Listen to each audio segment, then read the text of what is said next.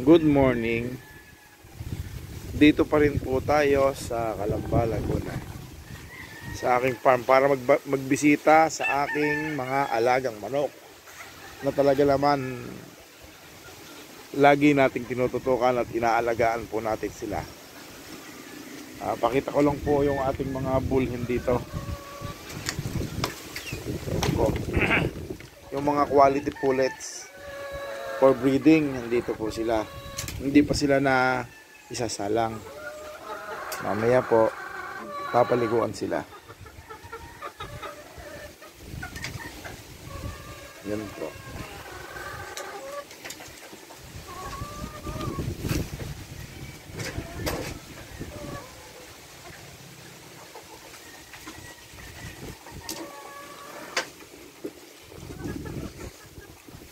Okay, yun po yung mga pulit natin.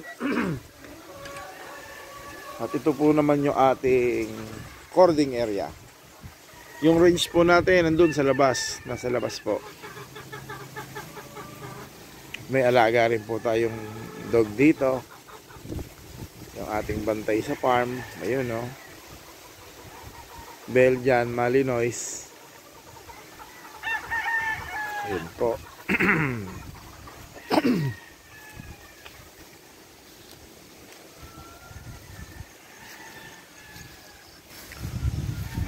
ang mga manok po natin dito eh mga sweater Boston Roundhead may konting lemon at meron tayong mga abuhin. Ayan o kumakain na sila. Kumakain na sila manok. Magpalakas kaya quack.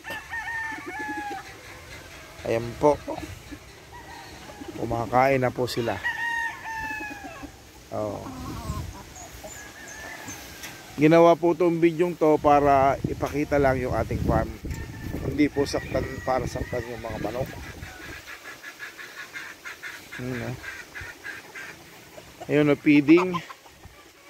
Pinapakain ni Jan dyan yung mga manok.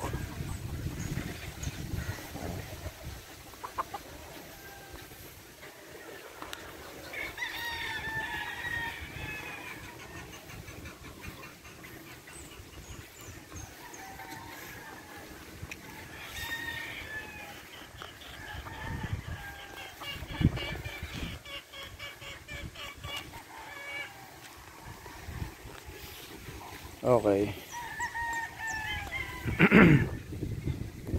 Ayun si Marco. May dalang patuka. Magpapatuka na siya ng manok din. Doon sa kanyang ano. Ito po yung ating Boston Black oh. Pakita lang natin. Oh. Broodcock Boston Black. Oh, yan po yung Boston Black. Hindi siya napasala ngayon yung kapatid niya yung sinalang ko sa breeding pen. Boston Black po iyan.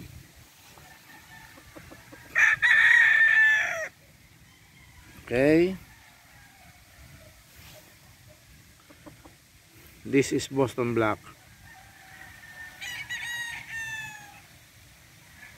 Bred by Randy Hebron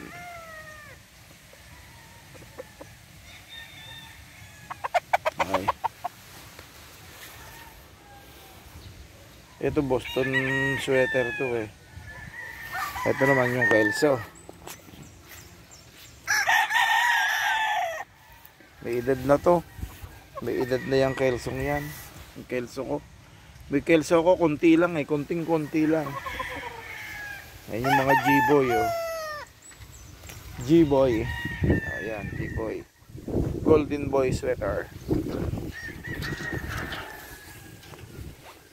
Pakita ba natin na kami mas magandang G-Boy dito eh. Ito yung George poster na bulik ko.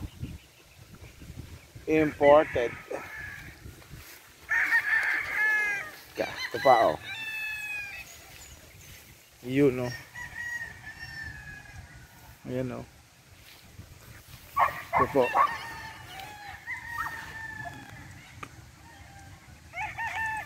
Rick! Ang haba ng buntot niya. Ah. balanse, maganda katawan, maganda buto, maganda sukat, hindi masyadong mataas, hindi masyadong mababa. Tapos yung buntot niya masyadong ano, garbo. Masyadong maganda oh. Yan po yung bully ko. Tapos yung katabi niya Boston, yun oh. Katabi ni Bulik ay Boston. Yun oh. Ayun. Ayan silang dalawa.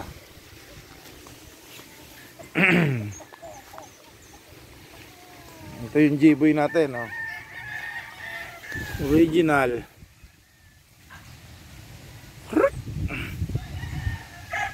Mahangin po sa farm eh.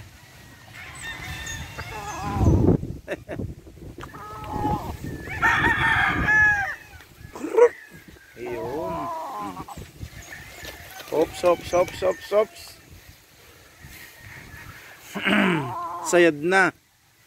Kasi this is ano 4 to 5 years old uh, golden boy. Sayad na sayad na siya. Okay.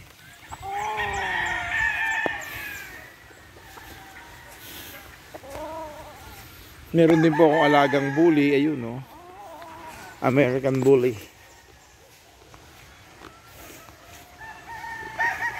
Ito yung mga brood bull stag na sineshare natin sa mga kaibigan. Madami dyan. Ikapakita natin. Ayan o. O. Oh. Boston Black. Oh.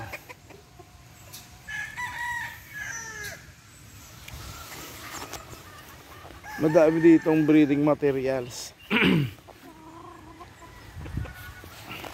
isa oh.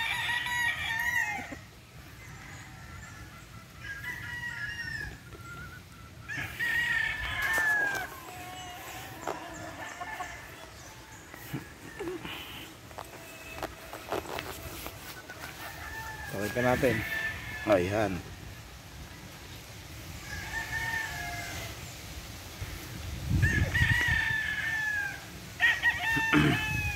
sa nagtatanong po sa akin, ako po ay taga Carmona, Cavite.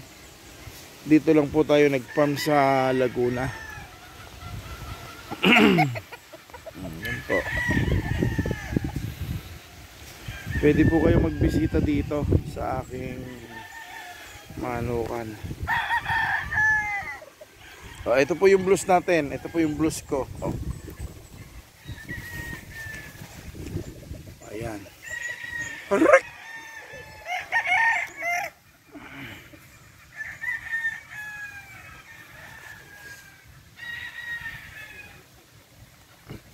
liligo sila ngayon maliligo sila papaliguan namin sila ngayong umaga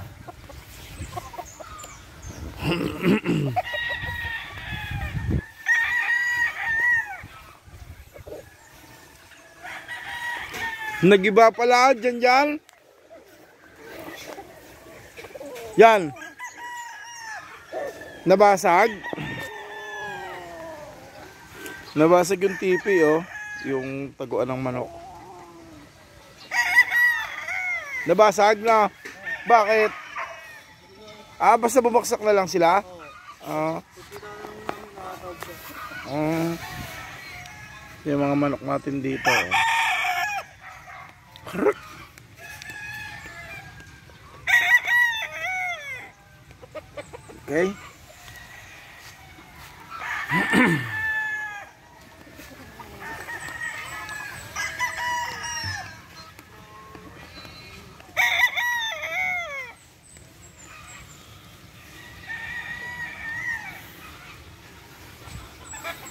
Boston.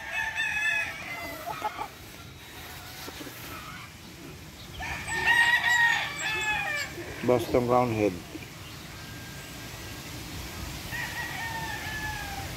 Hindi naman sila kagwapuhan. Pero habang tinititikin mo sila, lalo silang gumugwapo at gumagaling. Iyon eh. Ito yung aking kung tawagin ay white chocolate. oh, sineshare ko lang yung mga manok.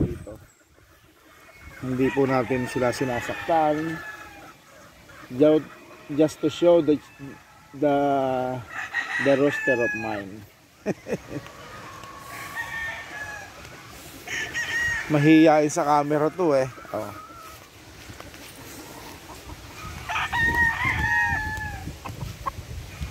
Iyon. Pumorma din. Iyon. Okay na siguro. oh, please subscribe nyo po ako.